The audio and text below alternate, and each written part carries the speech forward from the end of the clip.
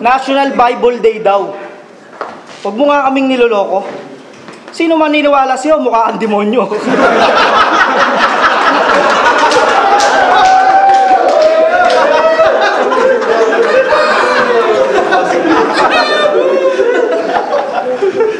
Totoo, di ba?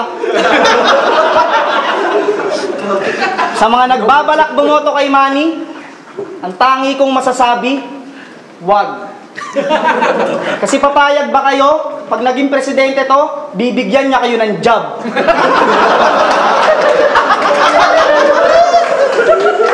Yan ba presidente nyo? Puro suntok alam? O puro suntok ka lang? Kaya malamang yung mga pangako nito, puro suntok sa buwan. Ako, napaunlad ko kamay nilaan. Kasi kinikilusan ko bawat araw.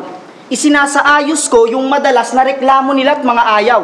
Yung mga madidilim na kalsada, pinatayuan ko ng post-it ilaw. Nang sa ganon ay di na madagdagan ang mga nadarapang magnanakaw. Siyempre, ha? Mabibilis pag sitakbo nun eh. Para may ilaw sila. Magmula sa Quiapo, Tondo, ay magmula sa Binondo, Quiapo, Tondo, Paco, grabe, sobrang linis. Hindi sa pagmamayabang, kung nakarating ka ng tutuban, ang daming Nike Cortez.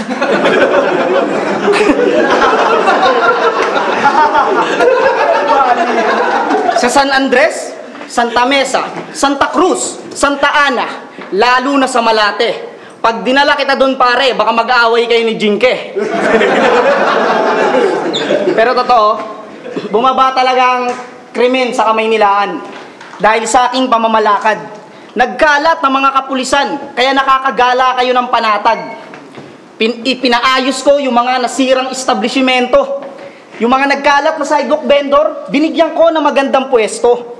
Kasi galing ako sa hirap at di ako magmamalinis. O ako ay laking squatter na parang 3GS. 3GS, 3GS, syempre. ah. Kaya minahal, kaya mahal ko ang aking bayan. Sa puso at sa diwa.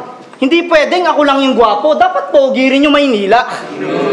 Kaya kung ako magiging presidente at iboboto ng madla, ipinapangako ko na mas magiging maayos ang ating bansa.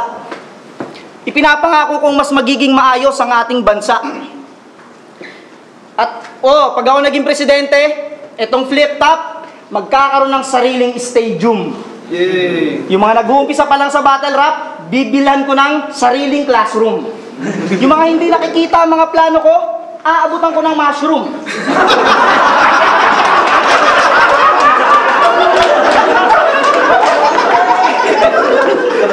Pero pag ikaw naging presidente, yari ka kay Vitrum.